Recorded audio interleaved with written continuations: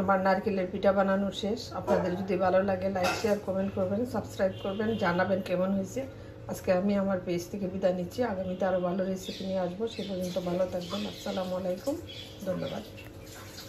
আসসালামু আলাইকুম, প্রিয় দর্শক। কেমন আছেন আপনারা? আশা করি ভালো আছেন। আমিও আপনাদের দোয়ায় ভালো আছি। আজকে আমি আরেকটি নতুন রেসিপি নিয়ে আসছি। নারকেলের পিঠা। নারকেল, গুড়, তিলের পাউডার তিল আমি ভেজে পাউডার করে নিছি, আর দুধ, লবণ, আর চাউলের আটা আছে এখানে। সেইগুলি মিলিয়ে আমি একটা পিঠা বানাবো, আশা করি আপনারা আমার সাথেই থাকবেন। সব একটা কড়াই বসাই দিচ্ছি আমি নারকেলটা দিয়ে দিব। আমার নারকেলটা এটা ফ্রোজেন করা, আপনারা চাইলে ফ্রেশ নারকেল দিয়ে করতে পারেন। আমি গুড়টা একটু দিয়ে দেখি যদি মিষ্টি লাগে, আমি আবার দিব। আর এখানে আমার তিল ভেজে পাউডার করা আছে, আমি এটা দিয়ে দিচ্ছি, খুবই ভালো লাগবে খেতে।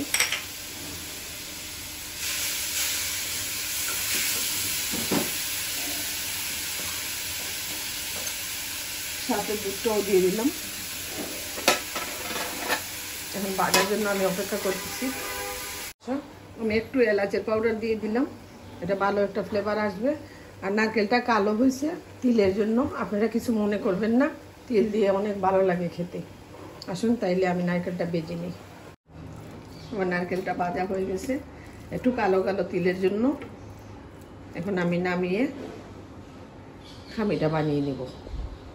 দর্শক, আমি লবণটা দিয়ে দিলাম। দিব, যাতে খামিটা শক্ত না হয় উপরটা। একটু তেল দিয়ে দিলাম। আমি পানিটা বলক আসার জন্য অপেক্ষা করতেছি। পানিটা বলক চলে আসছে। আমি চাউলের গুঁড়ি দিয়ে দিলাম। এখন একটু নাড়াচাড়া দিয়ে দিব। তারপর পাঁচ মিনিটের জন্য ঢাকা দিয়ে রেখে দিব। খামিটা ভালো হওয়ার জন্য।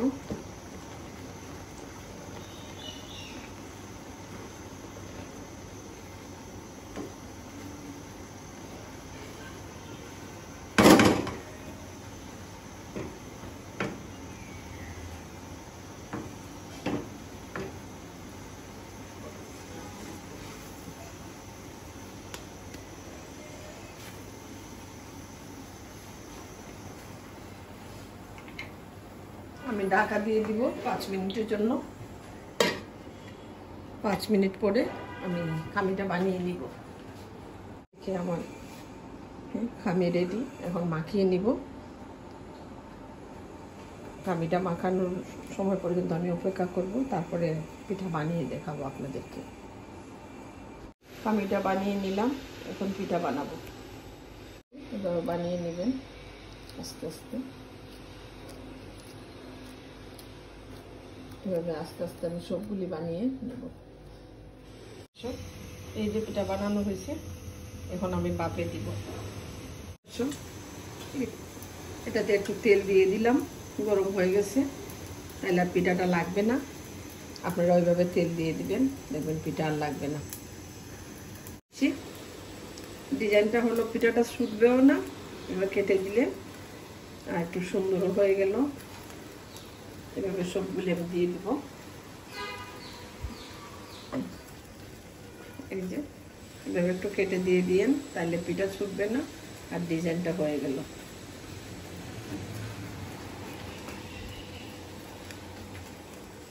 এখন আস্তে আস্তে আমি সবগুলা এভাবে দিয়ে দিব।